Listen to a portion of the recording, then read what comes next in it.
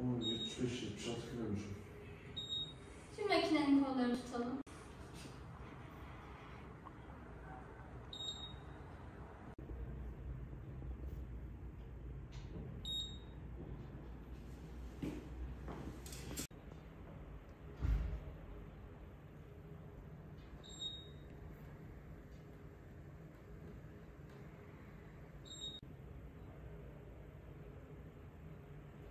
Tamam, ilerleriz.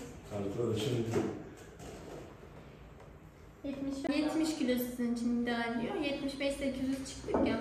Bel bölgesindeki yağlanma fazla. Orayı da dediğim gibi hani sağlıklı beslenerek, şekeri azaltarak verebiliriz diye düşünüyorum.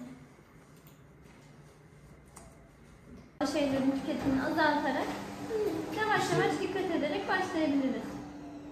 Düzenli beslene, beslenemediğimiz için sürekli böyle işte ama ya, düzenli olarak hani spor salonu gibi yaptığımız bir şeyimiz yok. Yok anladım ama e, dediğim gibi boyuma göre, yaşama göre kalp damar hastalıkları, insülin direnci, şeker hastalığı bunları hep davetiye oluşturuyor. Bel bölgesindeki yağlanma.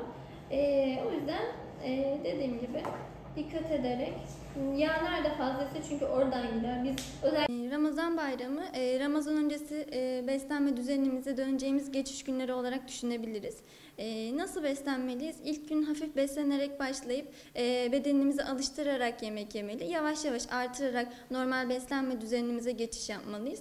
İşte tatiller, bayramlar gibi özel günlerde beslenmemizde farklılık yapmamıza gerek olmadığını, yaşamın her döneminde olduğu gibi sağlığımızın korunması için yeterli ve dengeli beslenme ihtiyacı, ihtiyacımız olduğunu söyleyebiliriz.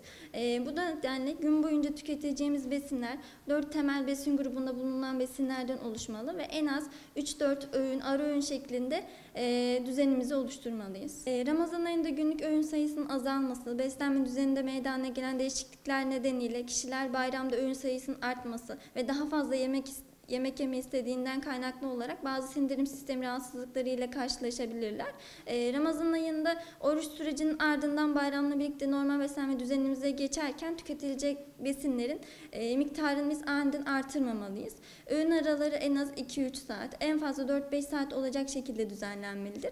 Ana öğünler ile ara öğünler de, e, ara, ana öğünler ara öğünler ile desteklenmelidir. Ara öğünlerde meyveler, yağlı tohumlar, fındık, badem, ceviz gibi ayran, kefir, yoğurt beslenme düzenine eklenebilir. E, en önemli öğünümüz olan kahvaltı bayram e, sabahı için çok önemli. Bayram sabahı e, en önemli öğün olan kahvaltıyla başlanmalıdır. Kahvaltıda kızartma, kavurma yöntemiyle pişirilmiş besinler yenmemeli. Kahvaltıda peynir, zeytin, yumurta, işte ceviz, tam tahıllı ekmek, ta- tam buğday ekmeği, bol yeşillik, domates, salatalıkla hafif bir kahvaltı yapılmalı.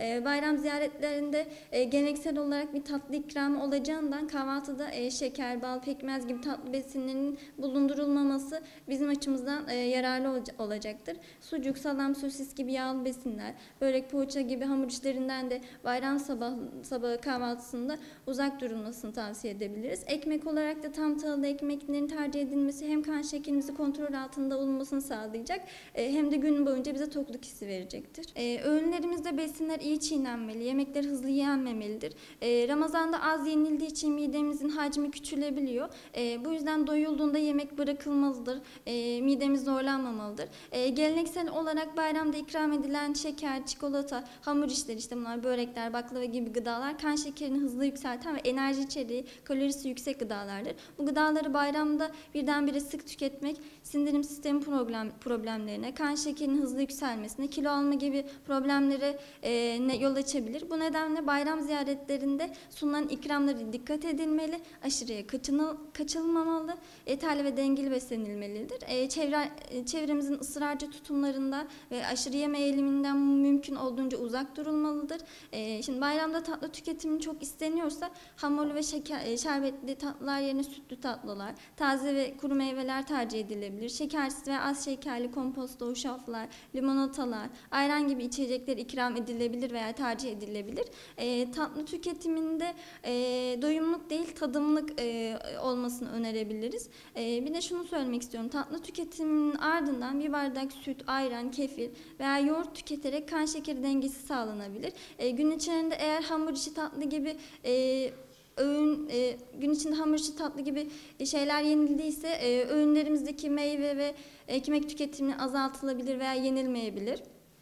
E, sindirim sistemimizin e, düzenli çalışması için ve kabızlıktan korunmamız için e, lif yani posta içeriği yüksek olan sebze meyveler, kuru baklagiller, e, bağırsak sağlığımızı koruyan e, yoğurt, kefir, işte ayran gibi probiyotik besinler e, Ramazan bayramındaki beslenmemizde mutlaka eklenmelidir.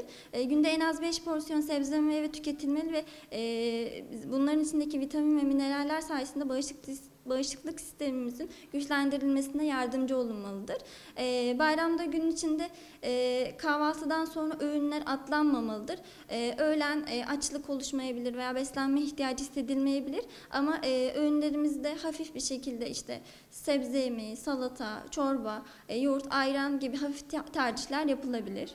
Ramazan ayı boyunca su ve sıvı tüketimimizin azalmasından dolayı vücudumuzda oluşabilecek sıvı kaybının yerine konması için günün içinde en az 2-2,5 litre su içilmeli. Ee, bu unutulmamalıdır. Çay, kahve gibi kafein içeriği yüksek içecekler tüketiminde aşırıya kaçı- kaçılmamalıdır. Aşırı tüketimi bu çay, kahve gibi içecekler çarpıntı, kalp ritim bozukluğu, mide yanması gibi mide problemlerine sebep olabilir. Çay, e, kahve tüketiminin su yerine geçmediğini ve diüretik etkilerinden dolayı vücuttan sıvı kaybına neden olduğu unutulmamalıdır.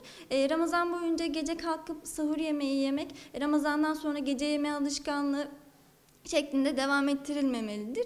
Ee, ihtiyaç duyulursa e, yatmadan 2-3 saat önce meyve, yoğurt gibi besinler tercih edilerek hafif bir ara öğün yapılabilir. Ee, diyabet, kalp damar hastalıkları, hipertansiyon gibi kronik hastalığı olanlar uyguladıkları diyetlerine bayram sürecinde de uymaya özen göstermelidirler.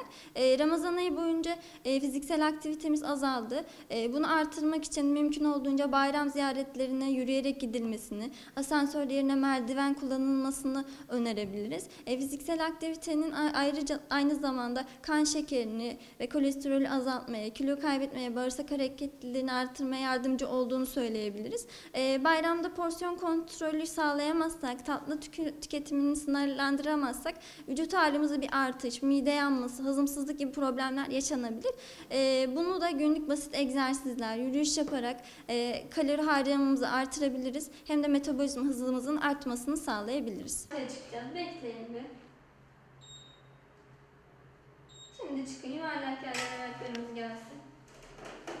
Tamam. Bekliyoruz. Tamam. Bekliyoruz.